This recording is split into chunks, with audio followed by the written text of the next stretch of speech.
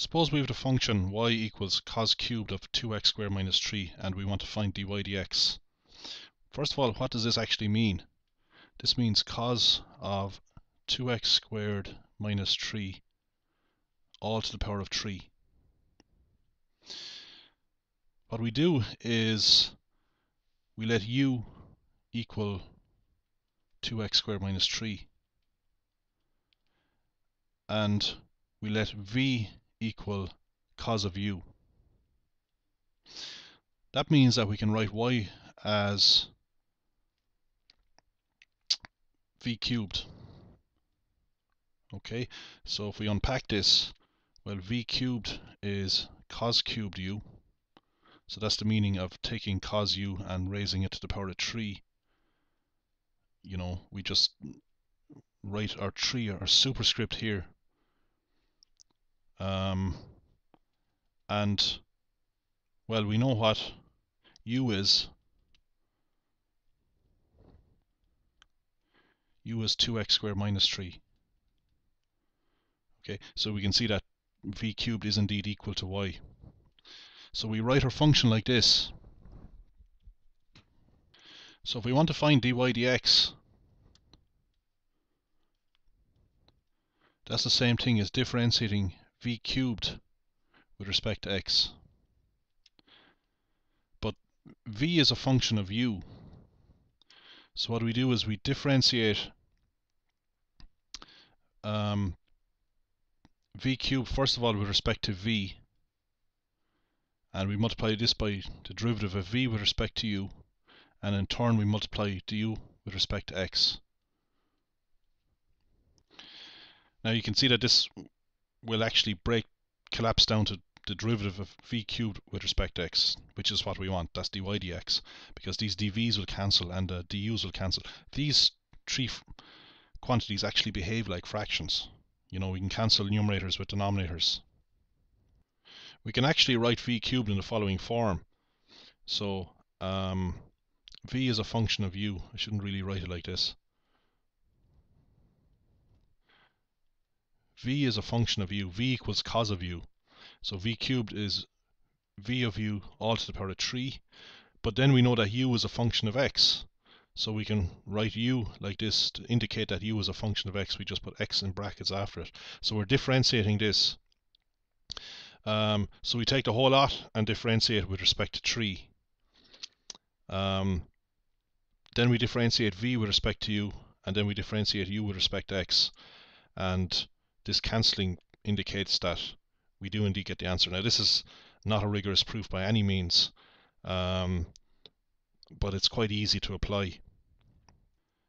You see, if we differentiate v cubed with respect to v, we get 3v squared. Okay, it's v to the power of 3. We just bring down the power and take 1 from the power to get 3 minus 1, which is 2. If we differentiate v with respect to u, well, we're just differentiating this here. So we differentiate cos u with respect to u. If you look that up in your tables, the derivative of cos u, the derivative of cos is minus sine. Then we differentiate u with respect to x. So we have to differentiate this function here. So here we have u as a function of x. So that's going to give us 4x. And then we just substitute back in for v and u. Um, by the way, the argument of the sine function, our, our angle is u, it's not 4x. So you should bring 4x to the front. So what do we get is 4x times 3, that's 12x times v squared. Well, if we go back up here, we can see that v is the cos of u. Um, and what is u? u is 2x squared minus 3 and we want to square this. This is v squared, but of course we don't write a 2 out there. What we do is we write our 2 here.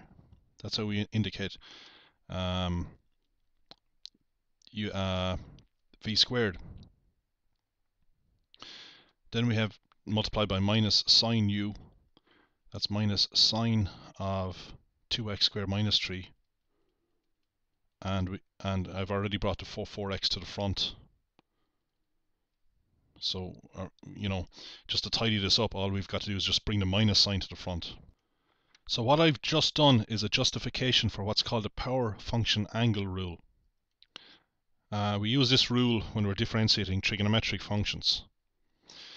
So you don't have to go through all this chain rule business.